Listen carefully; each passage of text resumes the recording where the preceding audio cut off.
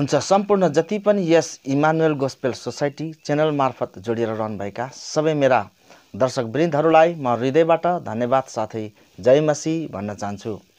त आज पनि मैले तपाईँहरूको बिचमा एउटा खास र महत्त्वपूर्ण विषय लिएर चाहिँ बातचित गर्नको लागि आएको छु। र विशेष गरी आजको शीर्षक चाहिँ रहेको छ विशेष गरी यसु प्रभुले साँच्चै तिमीहरू संसारका ज्योति हौ। डाँडामा बसालिएको सहर लुक्न सक्दैन भनेर एउटा महत्त्वपूर्ण शब्द प्रभु यीशुले बोल्नुभयो। र त्यसैको वास्तविकता होइन त्यसैलाई चाहिँ खुलस्त पार्दै र यो शब्द प्रभु येशूले विश्वासीहरूलाई किन भन्नुभयो वा उहाँका चेलाहरूलाई यो शब्द किन प्रयोग गर्नुभयो भन्ने कुरा चाहिँ म तपाईँहरूको बिचमा लिएर आएको छु। त्यसले गर्दा हजुरहरूले यो भिडियोलाई हेर्दै गर्दा अन्तिमसम्म स्किप नगरिकन हेर्नुहोस् र त्यसो गर्नाले धेरैभन्दा धेरै आशिष पाउनुहुनेछ। र तपाईँहरू कोही पनि पहिलाचोटि यो च्यानलमा भिजिट गर्दै हुनुहुन्छ भनेदेखि यो च्यानललाई सब्सक्राइब गर्न नभुल्नुहोस् र छेउमा भएको बेल आइकनलाई दबाइराख्नुहोस्। त्यसो गर्नाले जब जब म यस्ता महत्त्वपूर्ण कन्टेन्ट अपलोड गर्दै गर्दा पहिलाचोटि नोटिफिकेसन तपाईँ समक्ष पुग्न सकोस् भनेर यो मेरो विनम्र अनुरोध हो। त हुन्छ अब हामी अलमल नगरिकन चाहिँ मुख्य विषयमा गएर हामी बातचित गर्नेछौँ। विशेष गरी मत्तीको किताब पाँच अध्यायको चौध पदमा यसु ख्रिस्टले के भन्नुभयो भनेदेखि तिमीहरू संसारका ज्योति हौ र डाँडामा बसालिएको सहर लुक्न सक्दैन भनेर उहाँले भन्नुभएको छ।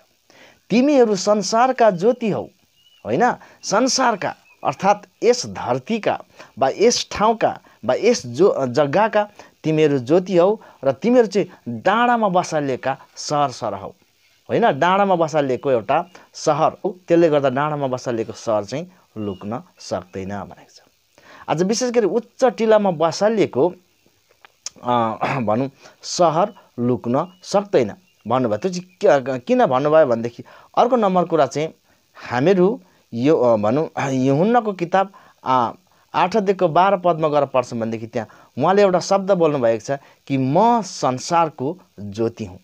मलाई पछ्याउने कोही पनि अन्धकारमा हिँडुल गर्दैन भनेको छ। म संसारको ज्योति हुँ।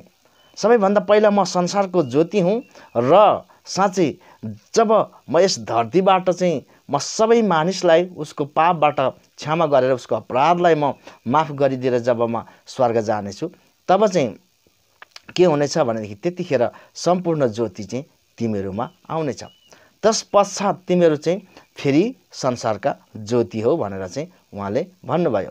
यो शब्द चाहिँ यसुले किन भन्नुभएको थियो त? भन्ने कुरालाई हामीहरू गौर गर्छौँ भनेदेखि विशेष गरी आज सबैभन्दा पहिला चाहिँ भनौँ हामी एफिसीको किताब पाँच अध्यायको आठ पदलाई त्यहाँ गएर हामी पढ्दै गर्दा त्यहाँ हामीहरू अलिकति स्पष्टसँगले बुझ्छौँ। त्यहाँ के भनिएको छ भनेदेखि एफिसीको किताब पाँच अध्यायको आठ आठ पदमा म पढिदिन्छु यसले लेख्छ किनकि एकपल्ट तिमीहरू अन्धकारमा थियौ तर अब प्रभुमा तिमीहरू उज्यालो भयो ज्योतिका सन्तान झैँ हिँडुल गर भनेको छ। किनकि एकपल्ट तिमीहरू अन्धकारमा थियौ तर अब प्रभुमा तिमीहरू उज्यालो भयो। यानि कि प्रभुमा यसु ख्रिस्टमा तिमीहरू अब उज्यालो भयो। त्यसकारण ज्योतिका सन्तान झैँ भई हिँडुल गर्ने गर भनेको छ। होइन त्यसले गर्दाखेरि अब अन्धकार भन्ने कुरा चाहिँ के छ भनेदेखि चाहिँ अब तपाईँहरू हामी बुझ्दछौँ कि सबैभन्दा पहिला विशेष गरी अब जहिलेसम्म प्रभु येशूलाई विश्वास नगर्नेहरू र ख्रिस्टलाई विश्वास गर्नेहरूको बिचको भिन्नता चाहिँ के छ भनेदेखि जसले येशूलाई विश्वास गरेको छैन उनीहरू रक्सी खाएर जाँड खाएर विभिन्न संसारका कुराहरू गरेर हरेक प्रकारको। त्यहाँ चाहिँ सबै पापहरू हिंसा निन्दा क्रोध भनौँ जुवातास खेल्ने संसारका नराम्रा कुराहरू खाने नराम्रो शब्दहरू बोल्ने झै झगडा गर्ने भनौँ त्यसरी धेरै कुराहरू गरी हिँड्दाखेरि पनि तर कसैले त्यो व्यक्ति नराम्रो भनेर भन्दैन होइन? त्यसलाई नराम्रो भनेर भनिँदैन। तर जब एउटा इसाईले चाहिँ सानो नराम्रो काम गर्यो भने तीव्र गतिमा चाहिँ त्यसको बदनाम फैलिएको हुन्छ। फल्नु यस्तो क्रिस्चियन फल्नु व्यक्तिले यस्तो गरो होइन? अमुक व्यक्तिले त्यस्तो गरो सानो कुरो अलिकति सानो कुरो छ भने पो त्यो फट्टै गरी फैलिन्छ होइन? त्यसको अर्थ चाहिँ के हो भन्नुहुन्छ भनेदेखि त्यो चाहिँ अँध्यारो र ज्योतिको फरक ती नै देखिन्छ। अन्धकार र ज्योति चाहिँ ती छुट्टिन्छ। जस्तो हामीहरू देख्छौँ कि जब अन्धकारमा जस्तो राति है रातको कुरो गरौँ जब रात हुन्छ अँधेरो हुन्छ त्यो समयमा त्यो अन्धकारमा के के मान्छेले के के गर्छ के के बोल्छ के के हिँड्छ है सबै कुरा चाहिँ त्यो के हुन्छ भनेदेखि देखिँदैन। किनकि त्यो अँधेरो हो नि त। त्यहाँ चाहिँ जे गर्दा पनि भयो त्यहीँ रक्सी खाएर हिँडेको छ बाटोमा लडिरहेको छ है भनौँ त्यहाँ चाहिँ नराम्रो कार्यहरू व्याविचारहरू भइरहेको। भनौँ विशेष गरी आफ्ना छोराछोरी पनि आफ्ना बाबुहरूसँग चाहिँ रातिको समयमा चाहिँ लुकेर किन के गर्छन् भनेदेखि त्यो नराम्रो व्यवहार नराम्रो कार्य नराम्रो खानपिन नराम्रो उनीहरूले चाहेको कुराहरू चाहिँ गरिरहेको हुन्छ। त्यो चाहिँ किन भन्नुहुन्छ भनेदेखि त्यो चाहिँ अँधेरो अन्धकारको समय चाहिँ कसैले देख्दैन होइन? त्यसले गर्दा फराक चाहिँ यो चाहिँ यस ख्रिस्टले भन्न खोज्नु भएको तिमीहरू चाहिँ डाँडामा बसालिएका सर हौ अर्थात् तिमीहरू संसारका ज्योति हो भन्दै गर्दा चाहिँ हामी चाहिँ उज्यालोमा छौँ हामी ज्योतिमा छौँ किनकि म संसारको ज्योति हुँ। भनेपछि चाहिँ यसुख्रिस्ट संसारको ज्योति हुनुहुन्छ र हामीले उहाँलाई विश्वास गरेको कारण चाहिँ अब हामी पनि संसारको ज्योतिमा छौँ। ज्योतिमा भएको कारण चाहिँ अब तपाईँ र मैले अब के भन्छ अलिकति सानो कुरा गरेको चाहिँ तीव्र गतिमा चाहिँ फैलिन्छ। त्यसले गर्दा विश्वासीहरूलाई सानो गल्ती सानो एउटा हिँडाइमा कुनै कुरामा भनौँ गल्ती भयो भने देखिन्छ। त्यसबाट के बुझ्नुपर्छ भनेदेखि साँच्चै नै हामी संसारका ज्योति रहेछौँ होइन? यो कुरा चाहिँ हामीले स्पष्टसँगले बुझ्नु पर्दछ त तिमीहरू चाहिँ फेरि डाँडामा बसालिएका सहर हौ भनेर फेरि त्यो मतीकै पाँच अध्ययको चौबिस पदमा यसुले भन्नुभयो र यसलाईबाट चाहिँ हामीले के बुझ्न सक्छौँ भनेदेखि हामी डाँडामा बसालिएका सहर हामी होइन त्यो चाहिँ कस्तो प्रकारले भयो त भन्नुहुन्छ भनेदेखि चाहिँ आज विशेष गरी चाहिँ ती अन्धकारबाट अँधेरोबाट देख्ने हामी ज्योति हौँ।